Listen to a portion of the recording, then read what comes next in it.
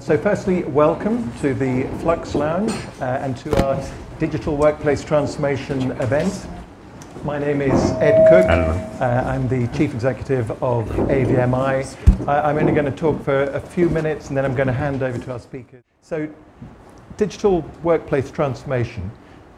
What this is all about um, really is it can be described in numerous ways, but I like to think of it as consumerization of the workplace. It's a bit long and boring phrase. It doesn't trip off the tongue very easily. Um, but the way I think of it is 10 years or so ago, I used to get flack from my colleagues for still having a CRT television in my front room at home. Um, the reason I did is because that's what most people had.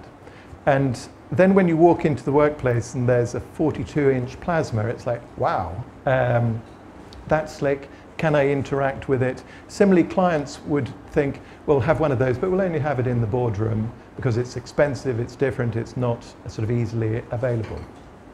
All of that has changed out of sight over the last 10 years. Um, about five years ago, I did actually invest in a, in a, a smart TV, uh, which came with all kinds of extra features, not just a bigger screen, LED. Um, it came with gesture recognition as you all know on your television is absolutely essential. Um, it came with voice recognition, so you could sit there and say, change channel. Obviously a TV would normally turn off at that point um, or start talking in Chinese to you, but um, it had these features.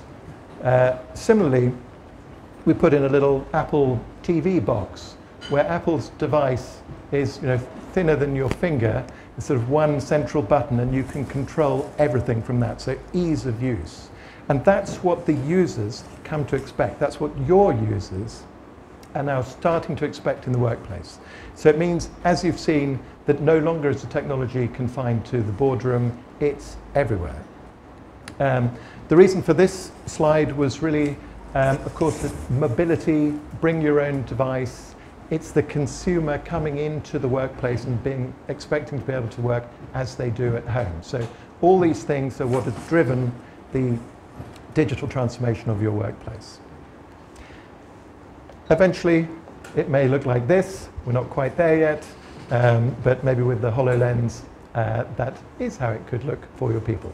Anyway, without further ado, um, what I want to do now is introduce to you our keynote speaker.